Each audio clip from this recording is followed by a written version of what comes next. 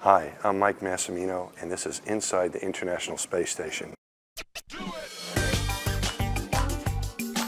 I'd never seen anything like it in space before. Uh, effective, the green flash. And I am inside the flight control room, and we're getting ready to speak to Dan Burbank and Don Pettit. They're in space, and we're going to see what they're up to. Hey, Don and uh, Dan, you here. Hey, Mass, we got you loud and clear. Comet Lovejoy, and we want to ask you about that. Uh, Dan, did, did, you know what you were looking at, and how did that all come about?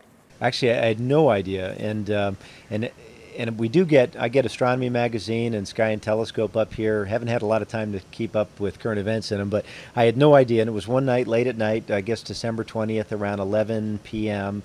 And I was in the cupola watching some storms and lightning at night um, uh, just north of Australia. And the sun was about ready to come up, and right where the sun would be coming up, there was this vivid uh, greenish white line projecting perpendicular from the horizon straight up as far as I could see, and I had no idea. Very, very bright.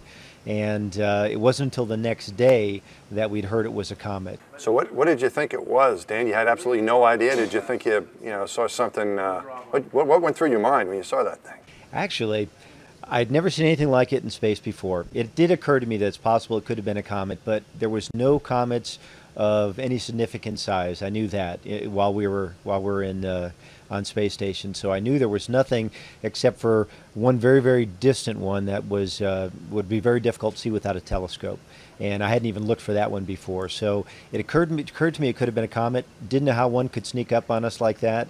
And at one point I'm thinking maybe this is some uh, effect of the green flash, for example. At sunrise, sunset, you may see this, but the fact that it stayed for such a long time and projected across such a, you know, a long 20 degree or so, uh, I guess about 10 degrees uh, across the sky, uh, I, I, don't know. I just really didn't know at that time what to think. I drew it in my uh, crew notebook, uh, took one hasty picture that was poorly composed, worse than even my my my my previously you know, worst composed pictures. And it was the next day that we actually had some opportunity to take some shots and spend some time. And by the next morning, we had heard from our scientists exactly what it was. Well, we really enjoyed the uh, the photos you sent down. It was just spectacular.